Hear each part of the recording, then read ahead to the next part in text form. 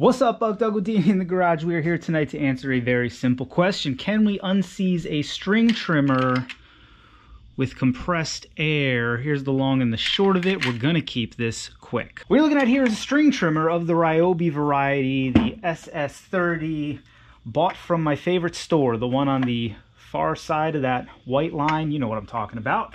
Picked her up, brought her home, dumped her out back, put her up for sale. Got a bite on it today. Came home, said, well, we got to make sure that she runs. And spoiler alert, she doesn't run. She's pretty well seized up tight. Um, I have torn off what I need to to confirm that it is in fact mechanically locked up inside. You can see the clutch is spinning free here. Hoping you can see that recoil. You can see it spins until it hits a wall, and the harder you pull, you're just stretching that cord. So it's not a recoil issue. And then here we pulled the muffler, and you can see that piston is not really showing any signs of vertical scoring or any real issues. A little dirty, but that's about it. So I don't think this thing was run light on oil. Glancing down that uh, hole there, we can actually read some numbers on the top of the piston. You can tell that it's intact. Don't see any debris we pulled the plug. Well, she's dirty, but no signs of mechanical damage or being run without oil. In fact, it's pretty well fouled. I'm thinking it was definitely run on mixed gas. So what could have happened to this thing? Why did it seize? You can see down here, we pulled the crankcase cover off. And you can see, I mean, it's definitely, I'm pushing as hard as I can on it. It's not budging a bit, but there's no sign of damage.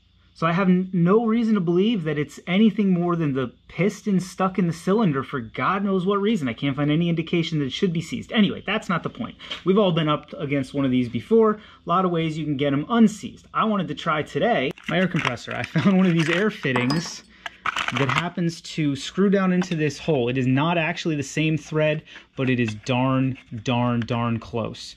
And it threads down enough threads that I don't think it's gonna immediately pull right out. So my thinking is, I have some of this old air hose. Let's see if we can't, uh, how far on can we get this thing? Maybe we gotta heat it up. Hose clamp, what do y'all think? If I could get it over that barb, that would be awesome. I don't think that's gonna happen. Oh.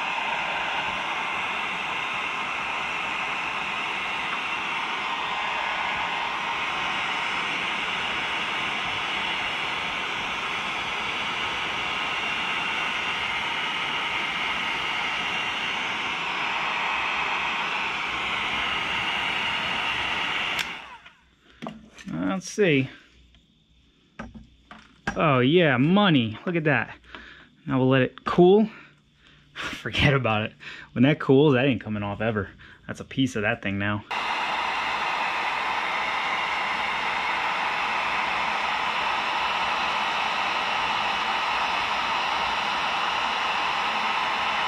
I don't know, on the other side, when the uh, ends started looking a little crispy, that was when she was done.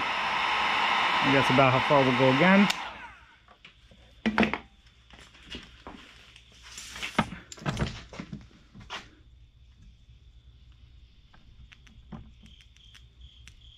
All right.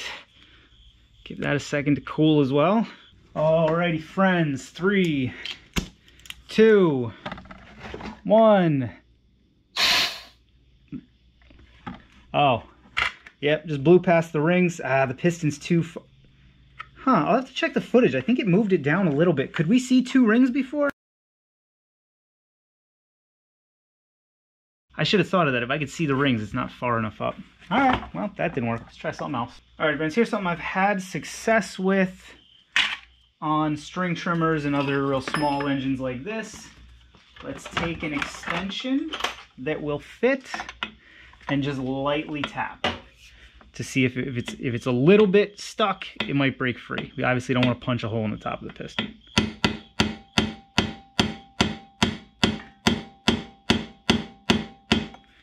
Let's check the exhaust for progress. nope, no progress.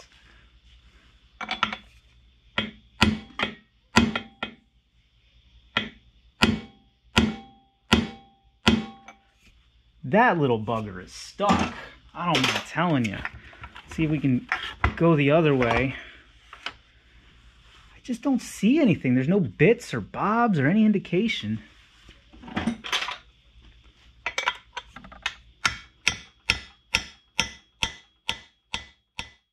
I'm to fill it up with WD-40. I mean fill it with WD-40. Is it draining out the exhaust? Is it draining into the crankcase? Nope. So let's let all that sit. Is it? No. No, it's all draining out, I guess. Where's it going? I wonder if it's draining back into the carburetor. Uh, no, piston shouldn't be low enough for that. I'm still trying to make this a short one. We'll, uh, we'll have to revisit this tomorrow when she's had the evening to eat. Alrighty, friends. Day two.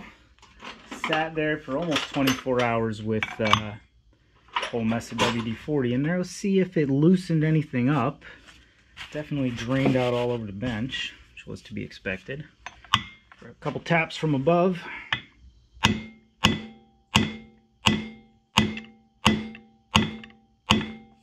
I drunk or does it look like that connecting rod is moving? Oh, it is. Over here. Look over here. See that in the camera? You can see the top of the piston now. I don't know if y'all can see that very well.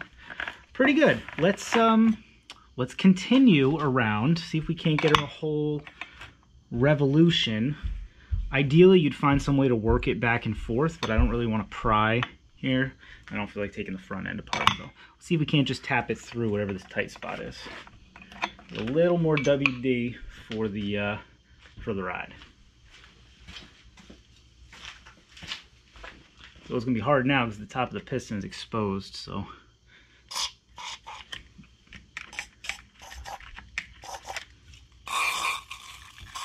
Not gonna do anything, but.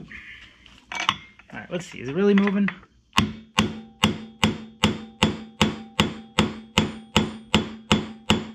Maybe not. It isn't moving.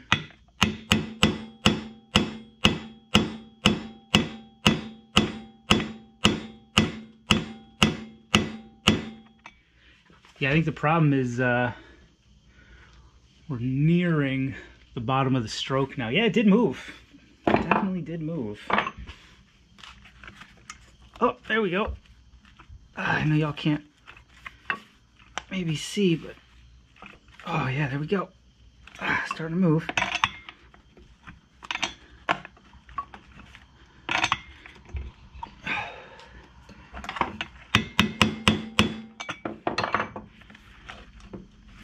Alrighty, friends, one of the reasons I love messing with side of the road machinery is you don't have to give two darns. You can do some crazy stuff because this thing's going in the bin regardless. There's like a 2% chance I get it running, but any other outcome involves it going in the bin or getting parted out. Anyway, so we got her in the vise here. We cranked her down good and tight probably about one newton away from cracking that casing and I just started working her around with this big long persuasion stick by Craftsman. I'm sure you've seen them. I was just sort of prying on the sides here and I was walking it all the way around. And there we go, boys.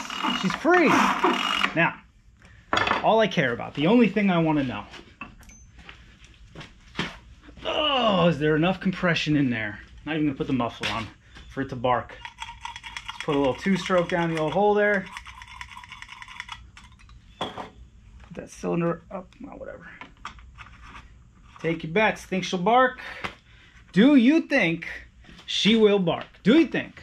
Of course she will. Why wouldn't? No reason not to.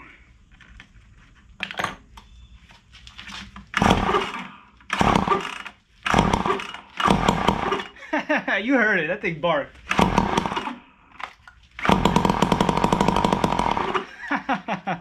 That's so 10 out of 10. All right, so I'm going to see if I can't get this thing back together. Maybe she's worth 50 bucks. From totally seized to, uh, I want, I want to do that again. Let me hear that again.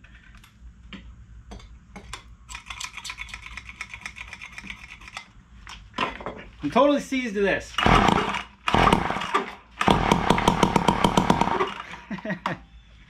oh, 10 out of 10. All right.